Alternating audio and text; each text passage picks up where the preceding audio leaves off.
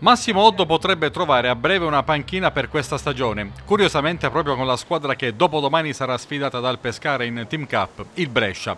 Per le rondinelle queste sono state ore decisive per il passaggio della società dal patrono uscente Marco Bonometti a Massimo Cellino, ex presidente del Cagliari, passaggio che si è concretizzato nell'ultima notte. Con la nuova proprietà potrebbe esserci un rinnovo dello staff tecnico e Roberto Boscaglia, richiamato quest'anno alla guida del Brescia dopo la parentesi di Novara, rischia di essere avvicinato avvicendato dall'ex allenatore del Delfino. Difficile che questo avvenga prima del match di Team Cup, magari potrebbe avvenire nelle giornate successive, un processo che sarebbe accelerato in caso di vittoria del Pescara o comunque di prova non eccelsa dei Lombardi.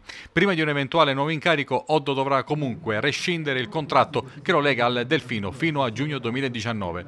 Intanto il Pescara continua a lavorare con la seduta mattutina odierna e l'amichevole in serata a Pineto. A Brescia non ci sarà ancora Leonardo Mancuso che al pari di Bruno sta facendo terapie, da valutare Zampano che ieri si è fermato per affaticamento muscolare. Al Rigamonti potrebbero nuovamente mancare, come avvenuto con la Triestina, quei giocatori al centro di trattative di mercato in uscita, in particolare Benalì, Biraghi e Memushai. Il giocatore anglo-libico sta per legarsi alla Sampdoria e attende ulteriori sviluppi della vicenda Chic col centravanti cieco che sta riottenendo l'idoneità e a breve potrebbe chiudersi la trattativa per la sua cessione all'Inter, il che agevolerà quella di Benalid al club di Ferrero in prestito con diritto di riscatto. Si fa invece caldissimo l'asse Benevento Memushai, gli stregoni neopromossi in A sono vicinissimi a chiudere l'accordo col Pescara con un prestito con obbligo di riscatto in caso di salvezza più defilato ora il Sion. Su Biraghi, oltre al Cagliari, ha effettuato un sondaggio anche il Sassuolo, che già nelle settimane precedenti si era interessato al terzino scuola Inter.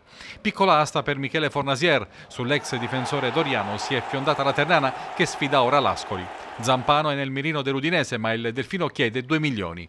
Cessioni che possono ulteriormente sbloccarsi, visto che in queste ore il presidente Sebastiani sta rientrando in città dopo alcuni giorni di vacanza. Sul fronte delle entrate resta forte l'interesse sull'attaccante esterno del Palermo, Carlos Embalo, mentre si attendono sviluppi per la mezzala dell'Atalanta Matteo Pessina, su cui c'è sempre la concorrenza dello Spezia, ma gli orobici, dopo aver preso Deron, possono lasciar partire il giovane centrocampista prelevato dal Milan.